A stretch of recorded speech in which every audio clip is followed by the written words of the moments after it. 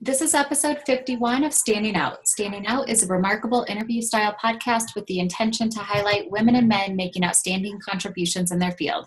This podcast is generously sponsored by Think Global. Think Global is a business advisory firm working with women entrepreneurs around the globe to scale their businesses to the next level. Today, I'd like to welcome Jenn McClendon. Jenn is a North Carolina native and graduate of North Carolina A&T State University where she received her bachelor's in chemical engineering. Her career began in pharmaceutical in the pharmaceutical industry, initially in rotational development program. It was during that program that Jenn discovered that she had a passion to help diverse suppliers. Once she completed her development program, she began working as a supplier diversity professional. Her passion for assisting diverse suppliers grow and develop is what led her to join the business development team at Slice Communications. In this role, Jenn collaborates with minority and women owned businesses to tell their stories to a larger audience. Jenn loves to combine her engineering process skills with her fun loving spirit to drive results and generate smiles amongst the people she works with. Jenn's favorite hobby is laughing, and she enjoys it most watching a good movie or enjoying great food and beer with friends. Welcome, Jenn. Thank you. Thank you You are just such you. a joy to be around. And I have to tell you, your laugh and your smile is truly contagious. Um, just in the months I've known you. that is true for all you listeners out there. Um, Jenn, okay, so for the people who are listening, tell us what supplier diversity is because I know not everyone knows what that term is. Sure. So, supplier diversity, and it's actually starting to turn into supplier inclusion, is oh. all about including minority, women, veteran, LGBT, disability owned businesses, as well as small business into mm-hmm. procurement processes. So, in the past, a lot of big corporations weren't including all suppliers and most of these diverse suppliers are disadvantaged based on various things. So supplier diversity helps close the gap, so to speak, between larger corporations and these smaller diverse firms. So for a corporation, and I think many, um, you know, many, most people in a hiring position aren't intentionally leaving out any groups of people. Will you like speak to that a little bit as far as what the process looks like and why there is that gap that needs addressed? Yeah, so I think a lot of it comes from resources. Okay. So I think everyone wants to include people, all right, people. Right. I don't think anyone thinks I'm going to exclude you person because you're different. exactly. No, and that's my point of the question because I, I I truly don't think anyone is intentionally creating this gap, right? Right. Right, exactly. But there is a gap. So Exactly. Um, and it's it's hard to close it. But I think a lot of times with the larger non-diverse companies, they have more money, they have more resources, they are global, so they have more access to to things to be able to support other large companies. But with smaller diverse firms, they the access to capital is not at the same capacity um, the number of employees is not the same. And so, even though they provide a lot of innovation and a lot of just thinking out of the box mm-hmm. mindset, without the the money behind it, big corporations view that as, oh, that's great that you think differently, but you can't support me, big company, because you don't have the resources that your much larger competitor has. Right.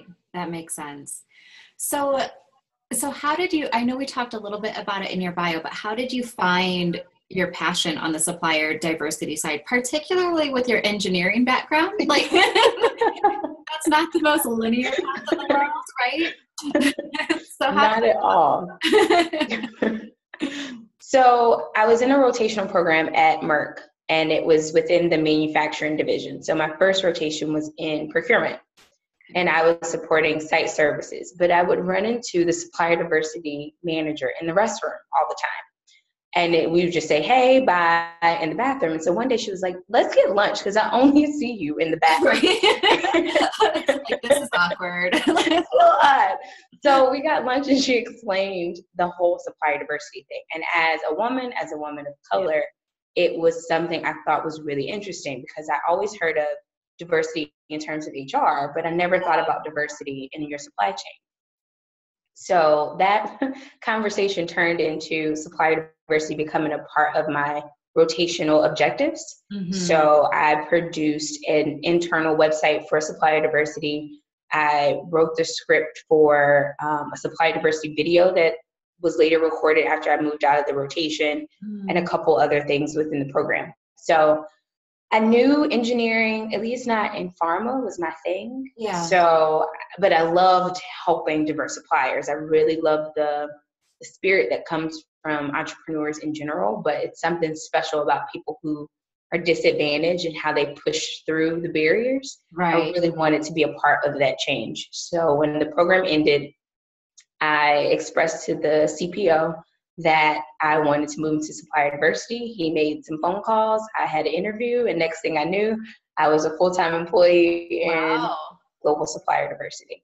Oh, that's that's amazing. Yeah. Like that's I, I love when um like passion and interest collide like that and that's what you get to do for for your job. I, I think that's incredible. So at this point would you say like most corporations have supplier diversity departments or is it just some? Most of them. Most so I think out of like the Fortune 500, the vast majority have okay a supplier diversity program in some form of fashion.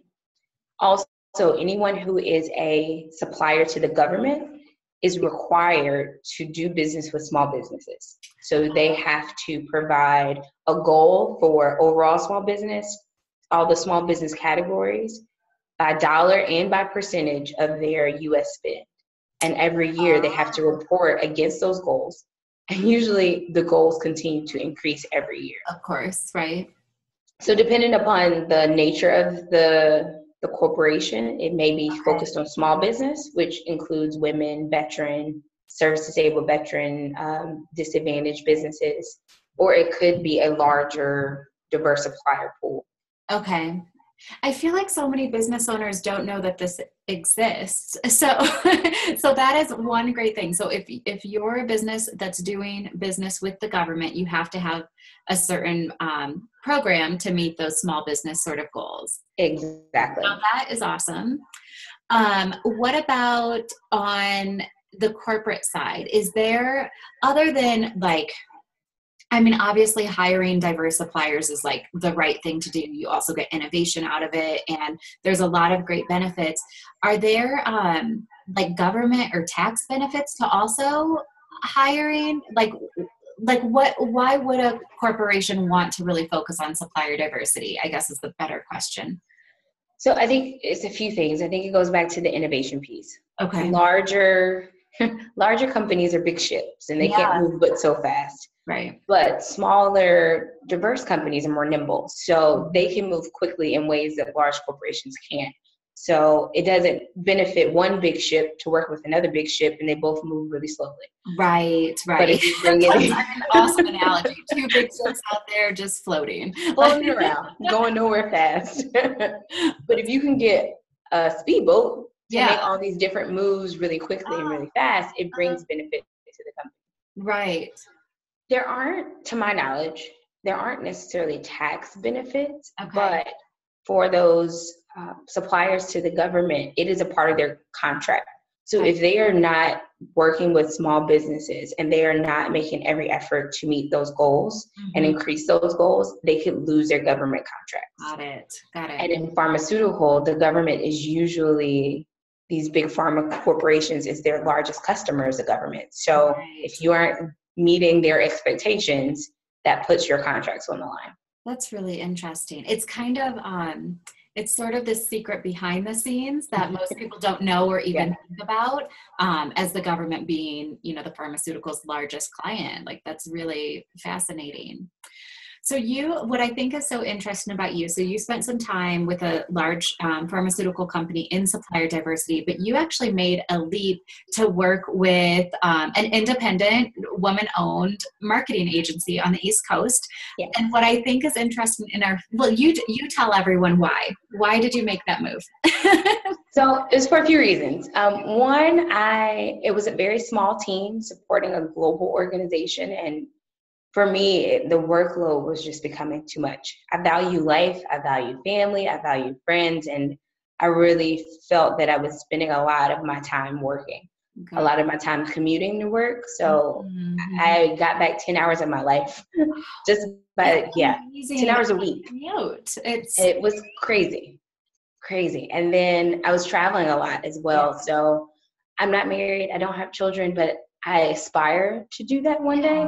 Yeah. And with my busy work schedule, it was just not an option.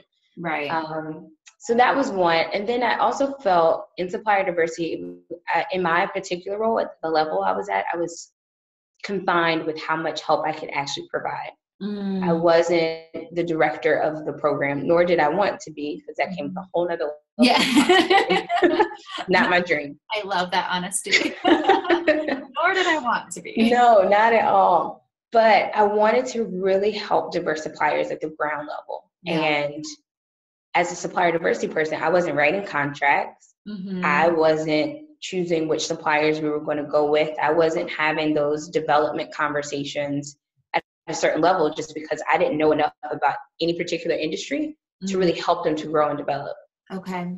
And when Cass presented me with the opportunity to come to Slice and really help diverse suppliers tell their stories, that to me seemed like a perfect opportunity to really yeah. help because I've noticed, and we actually did a study in conjunction with Wharton Business School around women owned businesses and their digital disconnect and how they don't show up online and how buyers are consistently going to Google to oh. find diverse suppliers or any supplier. Interesting. And their online presence doesn't match their in person presence.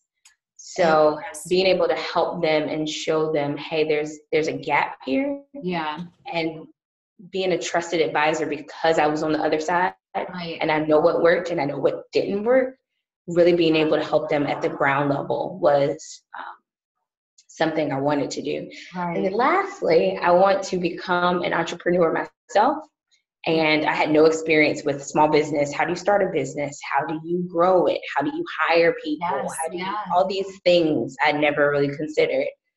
I came to Slice to also get that hands-on firsthand experience around living in a small business it is so interesting that um, the just the things i think it goes back to your example of a, you know big ships hard to move slow moving or a speedboat. And i think that is like the perfect example between corporate business and um, it, and and entrepreneurship.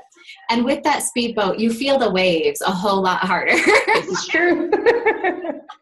I can I can attest to that. Um, but it's sure a beautiful journey out there.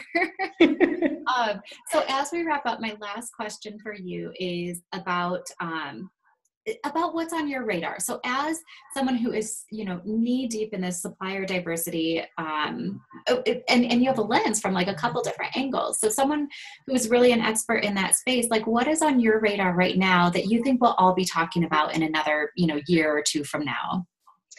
I think we'll all be talking about how buyers, how they buy, how it's changing. As mm-hmm. more millennials are stepping into buyer roles, as more millennials are starting businesses, we really have to rethink how we do business. And I think that'll be the same for entrepreneurs and corporations.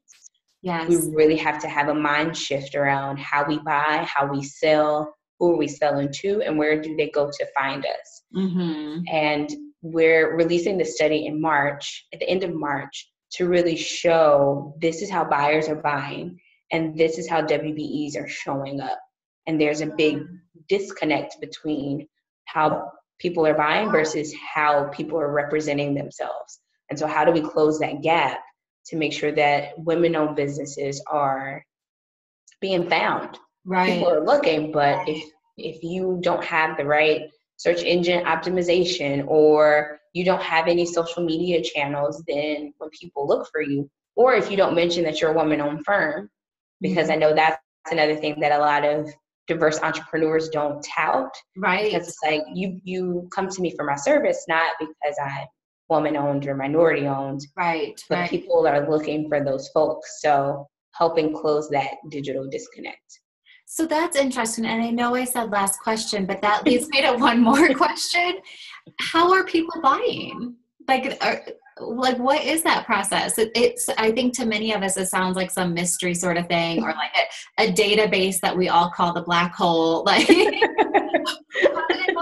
that like we need to know that so i think historically not i think i know historically yeah. there are a lot of different supplier diversity databases out there okay. and so one diverse supplier could register in the database where they're certified and then there could be some others and then each company has their own individual one, and then the right. government has one for small business, and it's too it's many so databases. Much. Yeah, too many. So a lot of time, corporate buyers now are googling.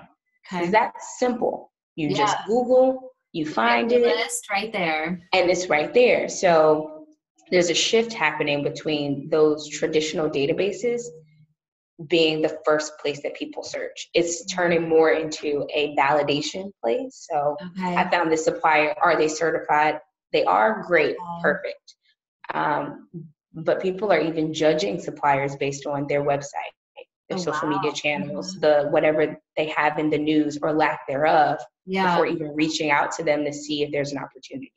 Wow. So making sure people are present online the same way that they're present in person. That is, and I love that is like the perfect line, making sure people are present online as they're present in person. And so many of us women business owners, we do have great personalities that come across amazingly in video and podcasts and yeah. things like that. And I think so many of us, um, we don't leverage that. So your work is amazing. And thank you for doing the work you, you're doing. Thank you. Of course. Thanks for being here, Jenn.